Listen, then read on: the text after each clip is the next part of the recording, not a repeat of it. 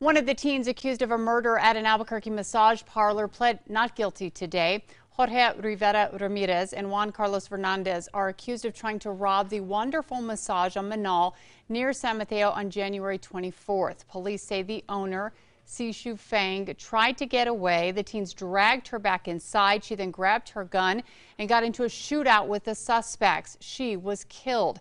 Rivera Ramirez was shot several times but survived. Today, he appeared in court and pled not guilty to all charges.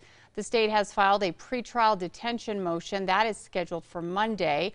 Rivera Ramirez is charged with first degree murder, kidnapping, tampering with evidence, armed robbery, and conspiracy. Court documents show he's also facing additional armed robbery charges from other incidents in December.